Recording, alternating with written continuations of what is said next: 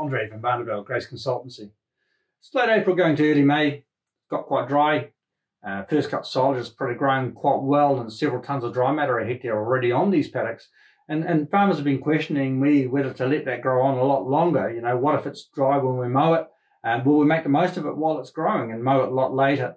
So it's really important to consider what's happening to that plant and what might change through that period. Obviously, if you allow it to grow a lot longer, your digestibility and your energy um, and protein levels on that plant are going to drop. So you're going to end up with not as good a quality silage. But it's also important to look at what happens after that.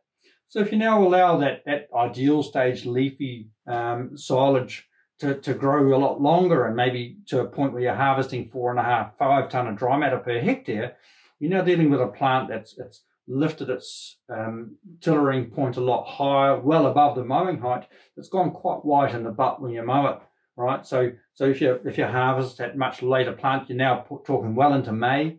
You're getting quite close to the perennial ryegrass plant reproductive period as well. So you're now forcing that plant to go into a really stressful time coming into the into the reproductive phase what it takes for that plant to recover at that time is so much more than if you mowed it at, at the ideal stage. So, in my opinion, when it's dry like this, you almost want to mow it slightly sooner rather than later. Get that plant off while it's still green in the bud, and it won't take so much for recovery, and it'll go through that stressful period before it gets through to the reproductive period.